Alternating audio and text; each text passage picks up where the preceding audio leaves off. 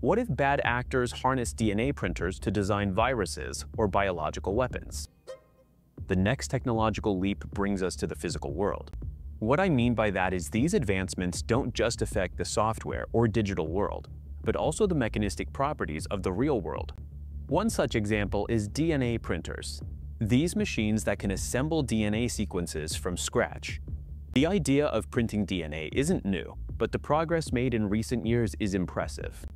Today's DNA printers can synthesize genetic material quickly and accurately, enabling the creation of custom sequences for research, medicine, and industrial applications. So just as with any advanced technology, there is a dark side. What if bad actors harness DNA printers to design viruses or biological weapons?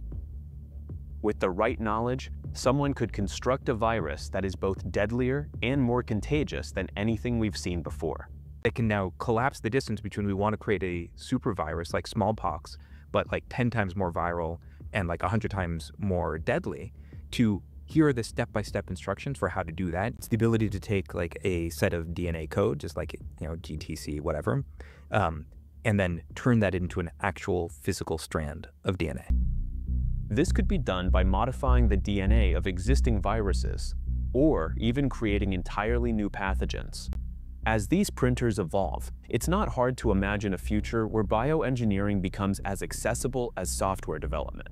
Eventually, raises serious concerns about bioterrorism and uncontrolled bioengineering.